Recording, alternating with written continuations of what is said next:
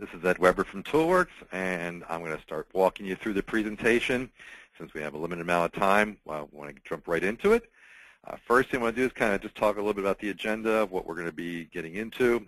Uh, first, a little bit introduction about ToolWorx and RACO, how we got into this, how we work together, and then kind of jump right into what drives the traceability requirements, things that we need to understand in terms of traceability, and to kind of differentiate between the, the tracking and tracing, this is kind of an interchangeable terminology. We want to kind of talk about the two different words and how we differentiate them. Talk a little bit about the lot traceability objectives and benefits that you get from doing it, uh, what kind of functions are being performed when you're actually doing any kind of lot traceability. Talk about a customer that RACO and ToolWorx has worked with together to actually implement a lot track system and then finally get into a uh, kind of one slide. We'll talk about some implementation planning, something that's extremely critical to actually having success in doing a lot track system. So right off the bat, uh, a little bit about us. Uh, we have certainly been around uh, since 1997, not, uh, not a startup company. And uh, really, this, this is what we do. The whole traceability, error-proofing world is the world we live in. This is our specialty. Uh, we've been involved in, in, doing lot traceability for a very long time, and even we're involved in, in one case with the Produce Traceability Initiative, uh, where we sat on the technology working group that actually helped develop some of those labeling standards. And we are what is known as an independent software vendor, an ISV for RACO Industries. And just because we're, we're talking uh, quite a bit about the food side of the, the world, uh, just give you a little bit of a brief overview of here's some of the customers that we've worked with in the food industry and uh, some of the, the, things we've done with them in terms of traceability. And now I'll turn it over to Larry to talk a little bit about RACO.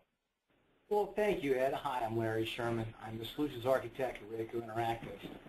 Uh, also, I manage the ISV program, which Ed talked about with ToolWorx. We use the ISV program to extend RACO Interactive's reach into areas that other partners have a core competency. And you'll hear from Ed today about ToolWorx' ability in the lot traceability and and recall management contained in systems. RACO Interactive also specializes in GPS fleet tracking, field service applications, specialized transportation delivery, yard management. We also have a custom development professional services group, and we really, really are good about cellular data services. You need some help in these areas, feel free to reach out to RACO Interactive. Back to you, Ed. Thanks, Larry. Okay, uh, first thing is I want to talk a little bit about some of the different uh, headlines and events, and, and I, it was kind of an interesting process because I was doing some research to kind of come up with some relevant headlines, and I wasn't sure how far back I had to go when, when doing some of the uh, Googling on the Internet to see what kind of recalls have, have been around lately that people may or may not have heard of. And it was interesting because, um, of course, as, uh, as would have it, uh, the, uh, I didn't really have to go past June. And so what you're looking at here, and just this is really just a sampling of some of the recalls that, that hit the, the world in, in June and here in the U.S. Uh, things like the hepatitis A outbreak uh, with frozen berries, sunflower seeds, pet food, uh, ground beef E. coli, and, and believe it or not, plastic inside chicken. So these are these are some of the things. This, this is why it's so critical to have to address this issue because this is something that is happening all the time. And uh, certainly we've seen bigger headlines uh, over the years uh, with uh, spinach and tomatoes and and different larger recalls that have kind of made the uh, the headline news. But this is the kind of stuff that goes on behind the scenes all the time. And why is that? Because there are people involved. And anytime you have people involved in any kind of processing operation, uh, even if it's not food, then you're going to have the possibility of human error, and this is where the traceability requirements come in. And what this really is all about is, you know, certainly, you know, everybody focuses on the headlines, right? The, you know, the, what what's it going to mean to my company, but really internally, it's it's it's huge. Now, this was an actual survey that was done by the Grocery Manufacturers Association. They went to their membership and they surveyed about uh, 36 members, and we're talking about companies like Del Monte and Hershey's, Smuckers, Fresh Express, and basically asked them, you know, what would the what you know in terms of any recall they've had, uh, what was the actual financial impact internally? And what came back, I guess, is kind of looking at maybe a glass half full, half empty, right? I mean, the good news is that you know of the respondents, 48% said that their impact was less than nine million dollars. Now, you know, for maybe some of these bigger companies, that's not a huge amount, but still, you know, you're talking millions, not thousands. Uh, but the big news here is that the flip side, which is that 52% of the recalls actually cost $10 million and up, and in some cases over $100 million. So again, it's one of those scenarios where everybody hopes and thinks that they're not going to be the one to be impacted by this, that they're not going to have you know, recall. But the, the key here is understanding that if you do, there's a significant cost factor involved. Now, in terms of some of the outside drivers, it isn't just internally what, what it costs the company, but what really drives traceability, uh, a lot of it is government action. So it started really way back after 9/11 with the Bioterrorism Act, and uh, which was kind of you know, passed you know, quickly uh, within Congress because of concerns about safeguarding the, the food and water supply, the possibility of terrorists, you know, doing anything in terms of contaminating that. And so the whole, some of those, you know, traceability uh, initiatives were really developed back then through that act. And that followed in uh, just a few years ago with from just in the produce side because there was so much bad press out there uh, within the produce industry, again, from some of that spinach and tomatoes and, and other uh, produce that were uh, causing people to be sick and in some cases causing death, that the produce industry really wanted to get ahead of the curve. They wanted to be proactive, so they started developing standards within their industry to uh, basically enhance traceability. And that of course, was followed up quickly with the Food Safety Modernization Act in 2011, which is still in process. A lot of people haven't heard much from it because it's actually still sitting within the FDA in terms of you know, releasing some of the uh, regulations and things like that. But it is something that is actually fast tracking right now, and you're going to be certainly hearing more and more about that as time goes on. And of course, the, the biggest outside driver is customers, which have been basically uh, asking for these kinds of traceability uh, systems forever because the customers are depending where you sit in, in, in, the queue. So if you are a grower, your customer, of course, is going to be a retailer. If you're a retailer, your customer is going to be consumers like ourselves. So these are some of the outside drivers that actually make the, the traceability come a front and center process. Now, to kind of just look at from the standpoint of tracking and traceability, because these are words that are used uh, interchangeably uh, quite a bit. And although this is not a Webster's dictionary definition, I call it the Weber's dictionary definition uh, because I like to look at it in terms of the tracking part as when I think of tracking, I think of more logistics focus. And these are uh, like maybe a, a grower who might be growing tomatoes and bringing them in and basically just boxing them up and shipping them out to a retailer or a distribution center. In their situation, because they're not really being consumed in a manufacturing process, they're mainly concerned on the receiving and shipping side. And so to me, that's more about, you know, where you're just tracking items that are just moving, that are basically in motion, as opposed to traceability, where I consider to be more manufacturing focused. And now those same tomatoes that are coming in are not just going back out as tomatoes to sit on a, to put on a grocery shelf, but rather are being used or consumed in a manufacturing process. So for example, they're being used to make a ready-made salad, or they may be used in soup, to make tomato soup. So you look at that, and now that process, yeah, you still have the receiving, you still have the shipping, but now you've got a very significant function in between, which is production. And that's where that traceability, being able to trace back through a chain is going to be critical to, in terms of traceability. So depending on where you fall, you might be looking at just tracking, using the tracking portion or the traceability side of, of lots.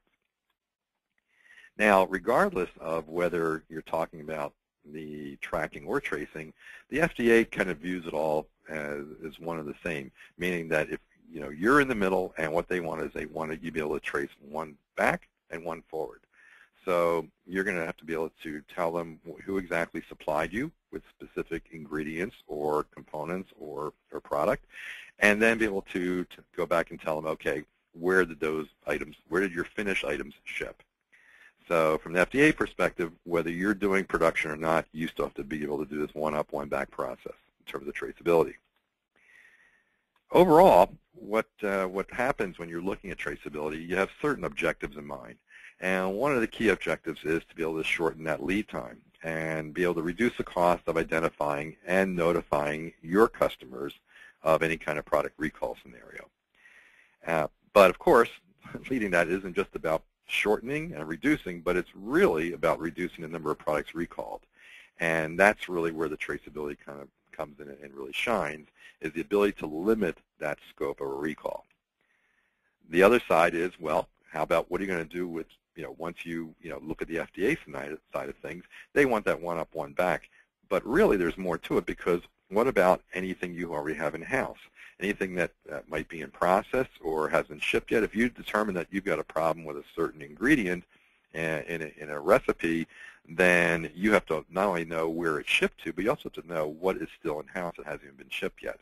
So quarantine is also a very critical objective for lot traceability. And of course, providing an audit trail for quality because quality ultimately needs to understand, you know, any kind of information about what has been produced and what, um, you know, where, where things have come and gone. So uh, having that audit trail is very important for traceability. Now, you look at automated traceability systems, you know, what benefits does that really bring? Well, over a manual process, okay, there's there's your basic, okay, the more accurate data. We all know that by doing any kind of you know, barcoding systems, people have been working with that over the years. You realize that it's a lot of uh, you know accuracy that, that you're gaining when you're when you're doing any kind of automation. Uh, in terms of you know being able to get that information more quickly, of course, you're also increasing the food safety chain. So it's also another importance because once you have a lot of data and you can mine that data, you can also get a lot of information out of that. The, of course, biggest thing, recall and quarantine data at the push of a button. So what you really want to be able to do is take all that information that you're gathering, be able to hit that one button, and be able to see exactly what happened in terms of the, the, the process that you use, the manufacturing process or distribution process, and be able to see what you have on hand, be able to have all that information instantaneously. The FDA gives you 48 hours to provide this information. You can have it literally within minutes if you have an automated system. In terms of regulatory compliance, obviously, as I mentioned, you know, having the, uh, the FDA and other agencies that require this kind of um, regulations to, to provide this information to them is extremely critical and good for rep reputation as well. Because when you're talking about ultimately is that brand protection.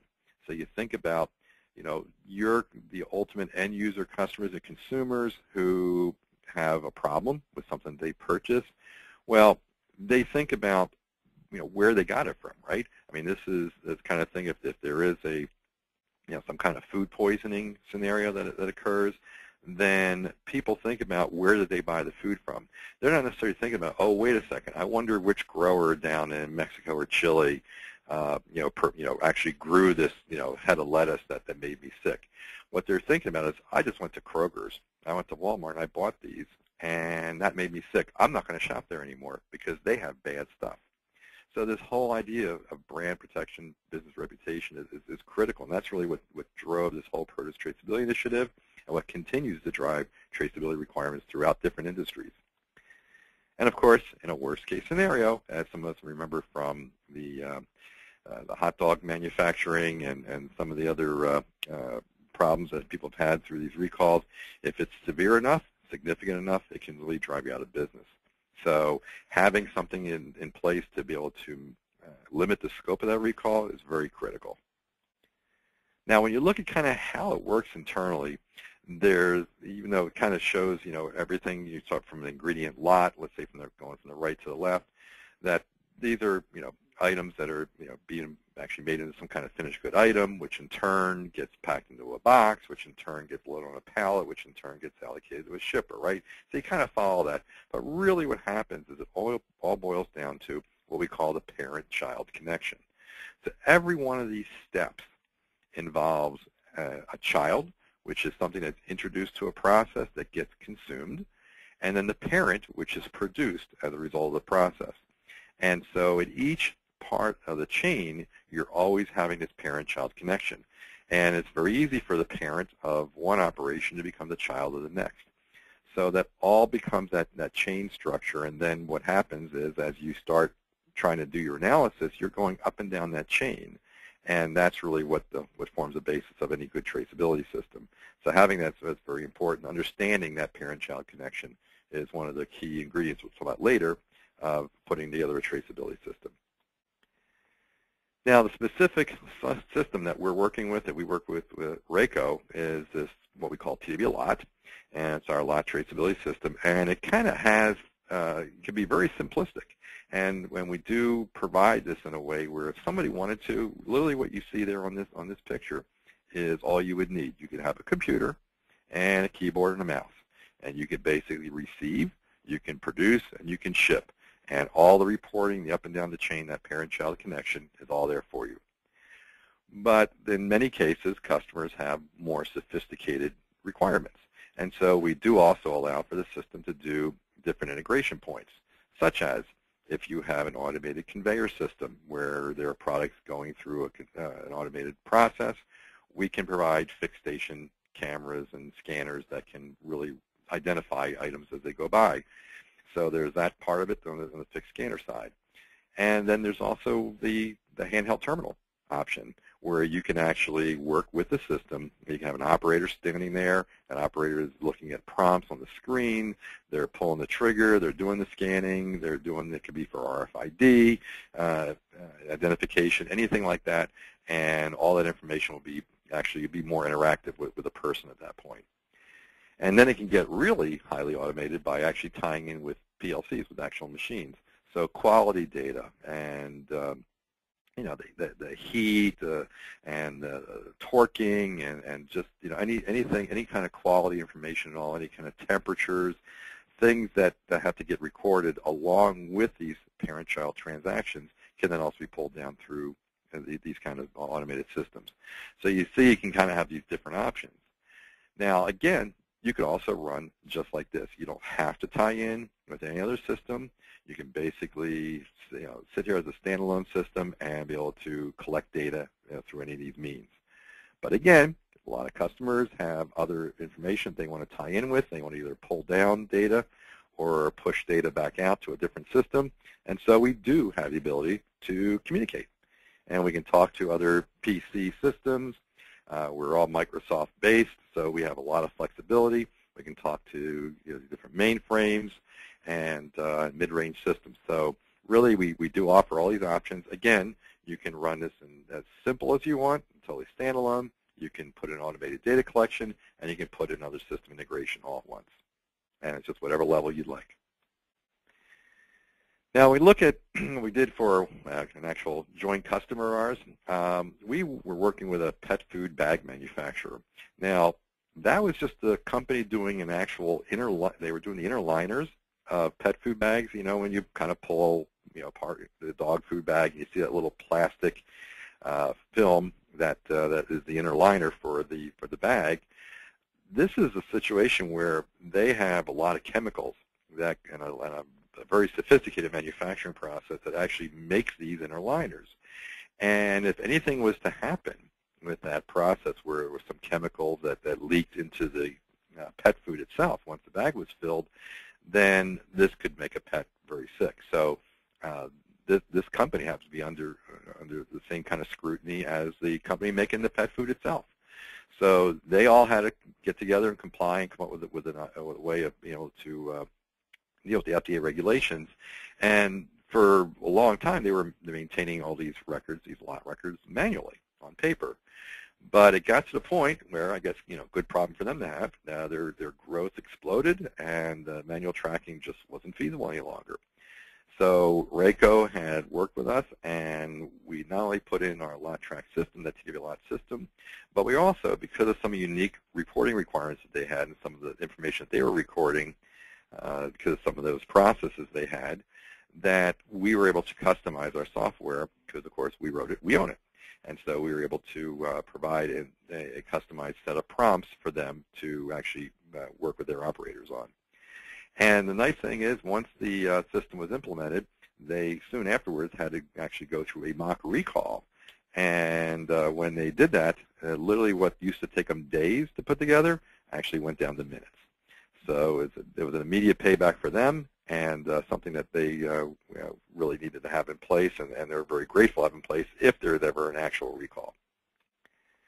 When you look at some of the pieces, uh, again, we, we did for this uh, particular customer, you look at the receiving side, And what we were able to do is some of their customers were providing, or suppliers should say, were providing labels uh, on an incoming product, and some weren't. So what we put together for them was the ability to basically scan and, and actually produce new labels if it was necessary so that by the time they got through receiving, everything was labeled consistently across the board. Now, if you can get your suppliers to get on board with a common label standard, then this could be a very easy process. You can just scan the receive and you're all done. But um, in, in, the, in the case where, where you don't have that uh, ability to basically make your suppliers uh, put anything together that, that is you know, consistent across your standard, then our system will give you the ability to reprint those labels in your format so you do have the consistency once it gets to the manufacturing side, which is the next piece. And really, what we try to do here is to streamline this as much as possible. And the uh, the way we kind of have this, this set up in our, inside our system is, you know, the first two sides there, the, the stations where you're just kind of scanning the employee ID, uh, identifying who's doing this, again, from an audit trail perspective, uh, scanning what station you're at, and at that point, now you're ready to actually look at production. So you kind of just say, okay, again, think about that parent-child connection, right? You're going to produce a parent, and you're going to consume the children. So what's going to happen is that as you start introducing uh, ingredients to the workstation, then you will scan those ingredients and the item number and the lot numbers, and then you also say what you're producing, and as you produce, you scan each time you're producing an ingredient or a uh, item lot. Now, the nice part about the system is if you're not using serial numbers, you know, where each box or container or batch is uniquely identified, and you're just using lot number, if you think about it, if you were to theoretically have one lot that you're producing for the entire day of whatever item it is, and you're using a single ingredient lot of all the various ingredients, even though there might be multiple containers, you would literally only have like one scan for that whole day. So you would just say, here's what I'm bringing to the, to the actual station, here are the ingredient lots. Here's the item lot, the parent I'm producing, the item number and lot, and you're done. So we try to make this as uh, unobtrusive and, and, and maintain you know, as, as little you know, labor as possible to try to actually work with the system. And so that's kind of our goal. And at the end, once you've gotten through that whole parent-child chain, now as you are going to ship items out, then you just scan, and then that's going to essentially you know, you know, complete that chain that is the top of the line parent and also provides us with that link as to what exactly is going out. Now you can see where you've got the shipping for where the, where the product is going to, you've got the receiving for where the product's coming from, and you've got everything in between in terms of production.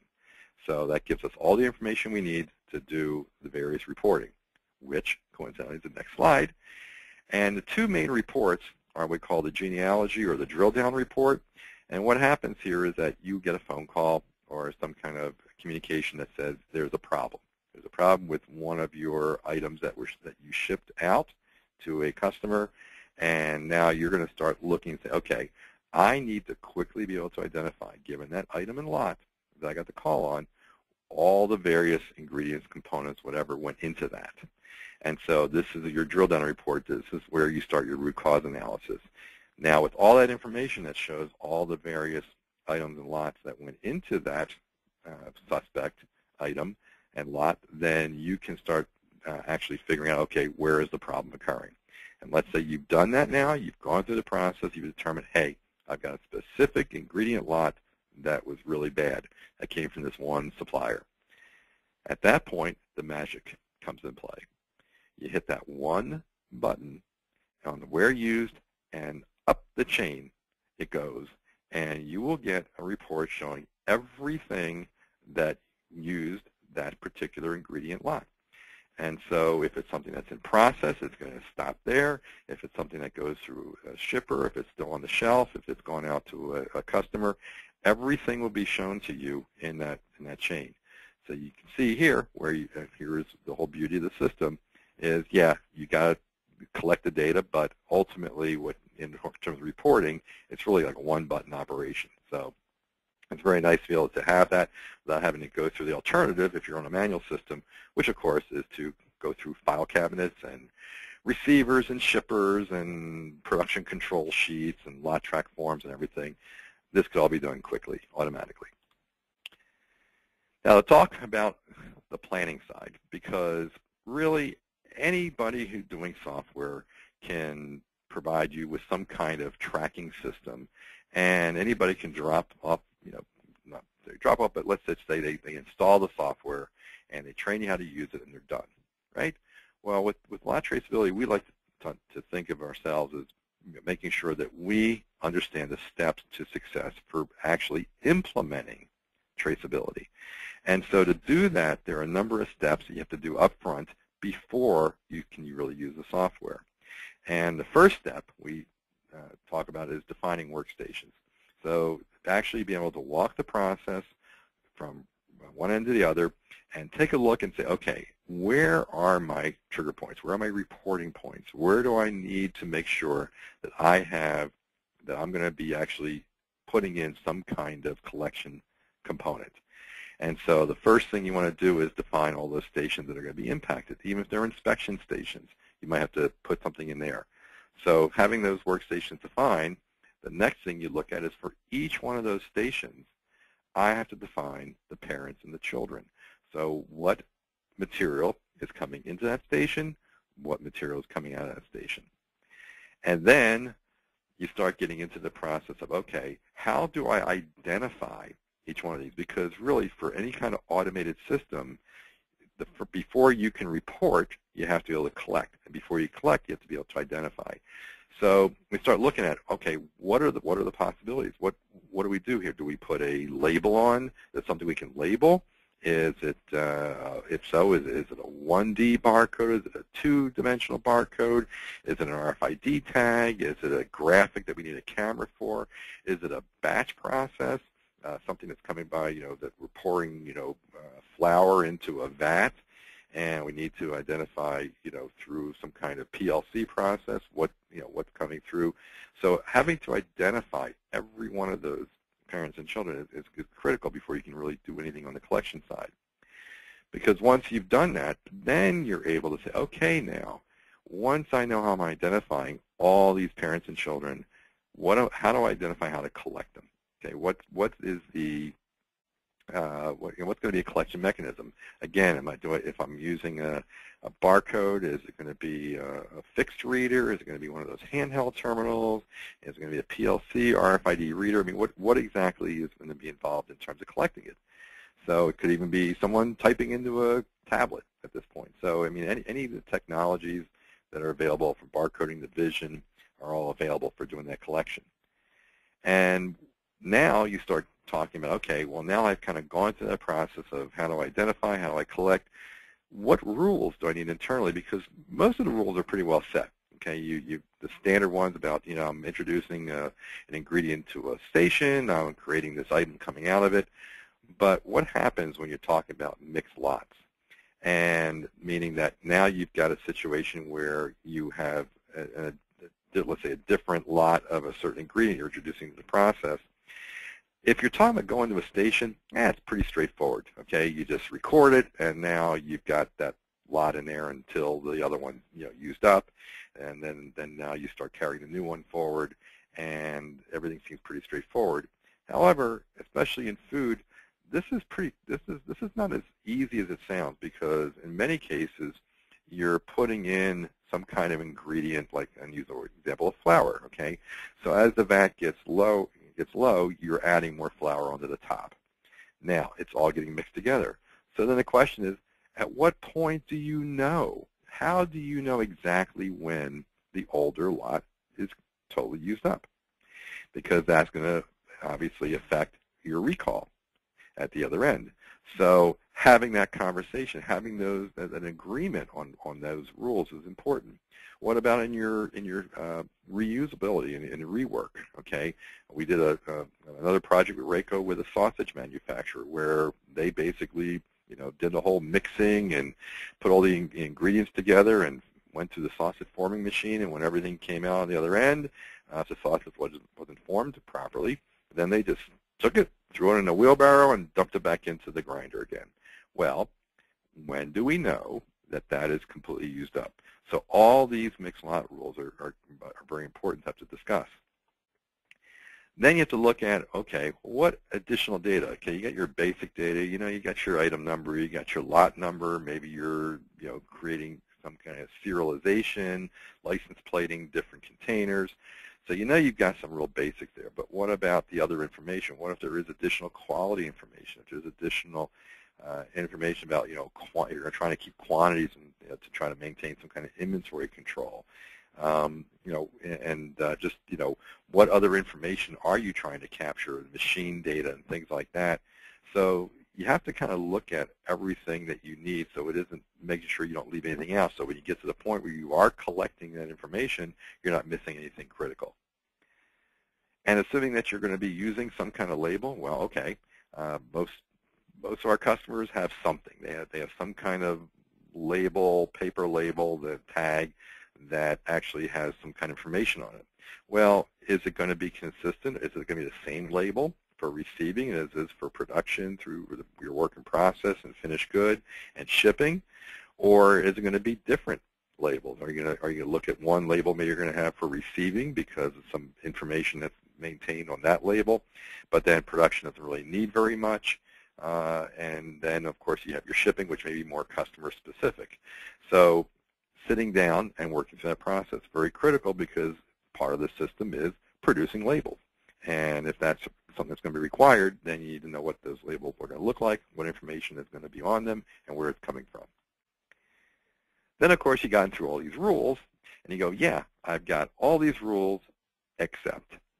And now you look at where are the exceptions, because every time you turn around in any kind of uh, manufacturing distribution environment, there are always some exceptions, and you have to be able to define those up front. So again, when the system comes in, that is going to be installed and it starts running, that's not the time to find out that it works for 80 or 90% of the situations except for these other scenarios. And you have to understand what those are and make sure you, you know how you're going to deal with them. And then last is really the additional functionality because you've got a system that you're going to be doing all this scanning with and all this data collection. Well, what else do you want to do with it? Do you want to do some kind of inventory control? Do you want to try to add some warehousing type functionality onto it? Uh, you know, do you want to do some kind of quality control data? So again, you look and say, well, maybe I can, if I'm already going to be doing this, uh, if I'm going to be feeding information to my business ERP system, then I need to be able to define that up front. So this is what we see as a process that, as you can see, goes beyond just buying the software and installing it on some server somewhere and then saying, okay, ready to go. So that is it for the planning side, and that is actually it for the presentation. And at this point, um, we're going to open the floor to questions. And we do have lots of great questions coming in. Uh, what operating system options are available for running this application is the first one. Uh, basically, uh, I mentioned we're, we're a Microsoft shop. Uh, everything we do is under the Windows environment. Uh, we are certainly uh, internet friendly in terms of being able to host data, get to data, you know, through the internet. But uh, but there is a um, there there is going to be a Windows component to to actually running the, the, the base system and, and the and the various collection mechanisms. Does the software integrate with an Oracle R12? Uh, actually, we've done that before with, with this system. We actually have a, a customer, manufacturing customer that is running Oracle, and we are interfacing with it.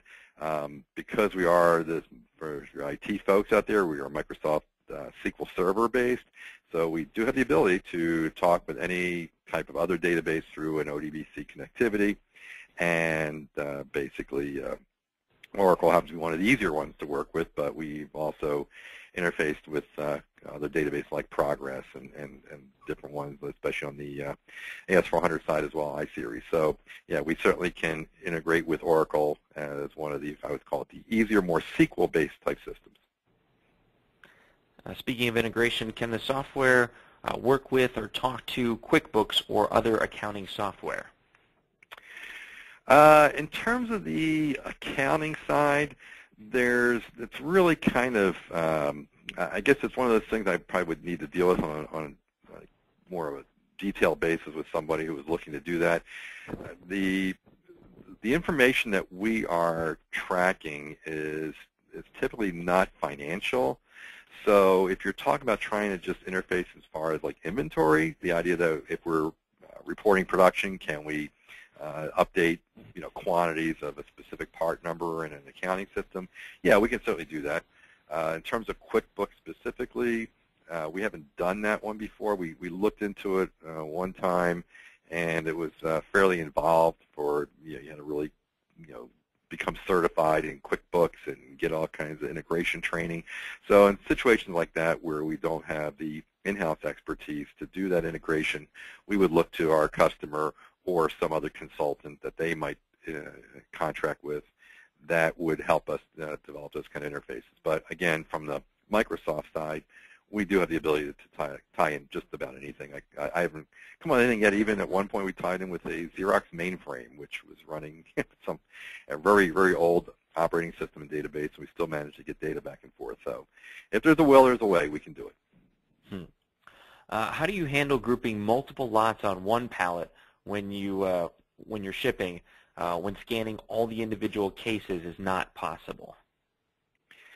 Um, yeah, good question. Uh, I guess the, well, ideally if you are trying to uh, maintain some kind of, well, in, in terms of the parent-child connection, if you are going to put something on a pallet, if you want a master label, then you're going to have to have some, you have to, you have to do some kind of collection, whether it's a scan or whether someone's going to enter the information in uh, to a screen, then there has to be some kind of tie-in between the master label and, and the actual child label that would be on each one of the containers. So if you don't want to go through all that scanning from a manual process, one way of doing it, of course, would be if you had the ability to put it on an automated conveyor and actually put a, a fixed scanner there. Uh, another way would be using RFID. But you know, ideally, if you had a situation where, let's say, you had, you know, 50 containers on a pallet and they were all like one item lot number, for example, then you can actually just scan one of those labels and then say, I've got 50. Okay, so it's it's not like we're going to force you to to do it a certain way, but that's one of those implementation types questions where we have to look at the specific situation and say, okay, what's the best way that we can work with you to minimize the amount of labor overhead, uh, but at the same time get to our goal of creating that parent-child connection. Have you ever used ToolWorx in conjunction with a warehouse equipped with voice technology? Uh, yeah, actually, well, we, we haven't done that in terms of an actual implementation. I couldn't take you to an actual customer. Uh, we we have found that usually in the, the, the voice applications that they tend to be more focused on the warehousing side. So you're you're picking and your your shipping processes, um, that you know where where someone or put putaways and move. I mean, some, something where it's, it's more of a warehouse inventory kind of scenario. Uh, we haven't seen it as much on the production side, and certainly not in the, in the lot traceability side. But um, you know, certainly if there was a, you know, we we know with some of the main systems like VoCollect and stuff that you know how we know that there are integration points that we can work with. So we just haven't had any customer requests to do that. So we really haven't spent the time to, to pull it together and, and, and be able to demo it. Uh, but we're certainly open if someone has that kind of requirement that we can certainly work with them and, again, define those integration points and, and make sure that we're tying in together properly. Can lot traceability be used to track production aging, for example, to allow FIFO shipping?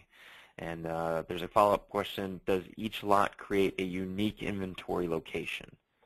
So uh, I guess let's uh, talk about the, uh, the, production aging part first. Yeah, part of the error proofing side, which we could put into place, is let's say you've got a, uh, uh, if you if you want the system to do this, then right now the, um, uh, the, the default would be that you know as long as you are uh, if you've got a bill of material uh, recipe for a specific workstation, then we're going to error proof and make sure that if it calls for you know three different ingredients, you've got to pull a lot of each one of those ingredients. When If you put up, you know, actually pull the wrong uh, wrong item number and you try to bring it to the process, we're going to flag that. So, so we've got that in place. In terms of the lot, the FIFO scenario, yeah, we've, we've done that before where as long as we know that we've got that inventory control part of it, meaning that we know what is the oldest lot number that is out there. Now this is going to involve, you know, a little more warehousing, right? Like we talked about additional functionality uh, where we've got to now track, okay, how much of this particular lot number one is actually in inventory so that when they when someone brings lot number two to the cell, that we know that there are no more lot number ones, that lot number two is okay. And if there still is lot number one out there, we need to say, no, I'm sorry, it's going to be a warning or a hard error that says, hey, you didn't pull the latest lot. Uh, so or, or the oldest lot. So so we can set that up, but it, it does involve giving us a little more control, or at least integration with something that's already exists to tell us, you know, specifically what lots and quantities are actually out there, so we don't uh, uh, so, so, we're able to, to basically give the right information to the operator. And uh, the other question about uh, does each lot create a unique inventory location? Uh, we don't do anything really with locations in terms of a lot track. It's not. It, it's really that again that parent-child connection. So what you're going to see is there's going to be a chain uh, of records that we're that we're showing in each one of these transactions. And so at the point when you produce a parent, then uh, you know that's going to be that you know the key again is that item lot number is, is really the, the two major fields there. If it is, if, if again you want to try to put location tracking in there, we can do that, and there can be a actual uh, you know part of the prompt can be for a location where that in, where that item is actually being stored. But we don't actually create any kind of locations. It's just again part of the parent-child chain. Can the system import bills and materials so that the user can scan lots against the required components? Yes, and I was kind of talking about about you know, just before in the error proofing. Yes, absolutely. Uh, we we've got these various master files: the, the, the part master, the item master, the employee master, the station master, the uh, you know the, the bill of material recipes, whatever you want to call it. And yes, all that information can be imported in. And again, when something, when you're actually going to produce something, the first thing it does is the system will do is go to that bill of material for that item, and then it will start looking for those particular items. So it, it will actually do the error proofing, and all that can be imported from either another business system, or or you can just put you know put a spreadsheet together and just you know we we can import right from the spreadsheet. So uh, which whichever way works for you. Are you able to pull up a production schedule to select the item that needs to be reported against? Uh, again, under the additional functionality column, I guess you could say sure. Uh, we certainly can. I mean, typically customers are working with some kind of router, traveler, work order, uh, something that the operator has already, and they add a barcode to that. And so, uh, so that becomes kind of their setup process, and so they can scan that as part of the setup and say, okay, I'm actually going to, I'm working on this part number. I'm going, I'm going to scan this part number, and then everything kind of falls, follows from there. Um, can we actually access the production schedule? Yes, uh, that, uh, but we'd have to have some, we'd have to have some idea of knowing, okay, uh, the production schedule would probably have to obviously be automated, some, something electronic, and be accessible through a key, mainly the workstation, because really at that point that's all we would have uh, to know. We'd know the operator, we know the workstation, so we'd have to do some kind of lookup and say, okay, in this table, what is out, out, out there for this workstation? At that point, we can grab that part number and then start prompting from there. So certainly it can be done. Uh, just depends on, you know, again, having the right information available. And it looks like we got one more question. This looks like a good one to end on. Uh, lot tracking and traceability as a specialty has existed for a number of years in the manufacturing space, especially for safety-related items. What sets ToolWorx Solutions apart from others who provide barcode or RFID traceability systems? Ah, interesting. Um, well, I guess what we what we've really seen, I guess really it's more of a marketplace kind of question. What, what we've really seen out there is that uh, when, when you when you Google lot track or lot traceability, you, you end up pulling up a lot of different ERP systems websites because you know your your various SAPs and Oracles and QADs of the world uh, are all you know putting in lot track, lot trace type functionality, some kind of screens, typically in the production reporting side, where on on in addition to reporting the part number and station and quantity, you're also putting in things like, you know, what component lots and what lot did you produce and things like that. Um, and so uh, what we've, we've kind of found is that, of course, what that leaves off is everything else, right? I mean, all the identification process, all the collection process. I mean, this is this is all based on assuming that there's, you know, that there's somebody right there who's who has that information, can key it all into the system. Even if they offer a mobile component to their, uh, to, you know, from a data collection side into their into their business system, you know, there, there's still going to be, you know, a, a lot of information. A lot of our customers really like the idea of having a standalone system for the traceability, for building that parent-child chain.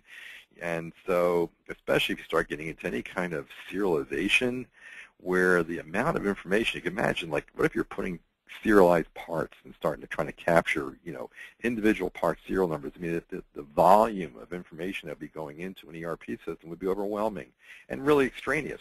Most business systems, they just want to know, yeah, I ran today on this machine and I produced this many parts. And that's really what they what they want to know. A lot of them even just do back flushing. So it, it does in, in many cases traceability doesn't even enter into the picture.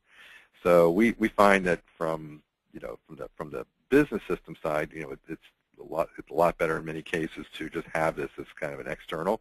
And then of course we can always just integrate that data back in. We can do that summarization and send it up to the business system.